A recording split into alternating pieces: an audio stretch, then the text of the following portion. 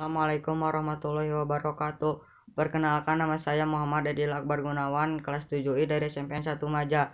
Saudara-saudara sebangsa dan setanah air, marilah kita panjatkan puji syukur kepada Allah Subhanahu wa taala karena atas limpahan rahmat dan karunia-Nya besok tanggal 10 November 2021 kita akan memperingati hari penting yaitu Hari Pahlawan. Saya akan menceritakan asal-usul kota Majalengka berasal dari Nyi Rambut Kasih dan Pangeran Muhammad.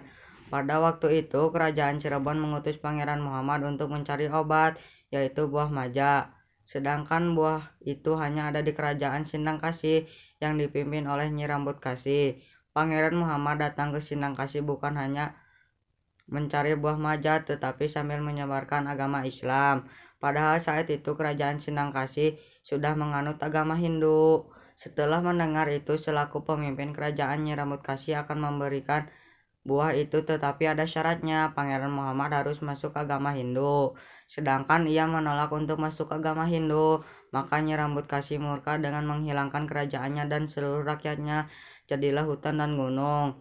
Tetapi keinginan Pangeran Muhammad untuk mendapatkan buah itu sangat besar.